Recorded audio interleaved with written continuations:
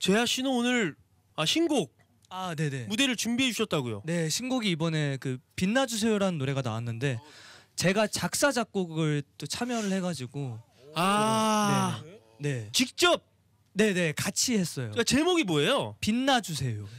아 그러면 곡 소개를 좀 부탁드릴게요. 어떤 스타일의 곡이죠? 어, 약간 요것도 좀 브루스 약간 오. 이런 느낌의 조금 쫀득쫀득하게 약간 다가가는 노래인데 그 가사 내용은 조금 당신이 내 곁에 있- 계속 있는데 약간 권태기도 올 수 있고 그런 상황이 올 수도 있잖아요. 음. 올수 있죠. 네. 그런 상황이 올- 오더라도 어 나한테 오직 빛나 주세요.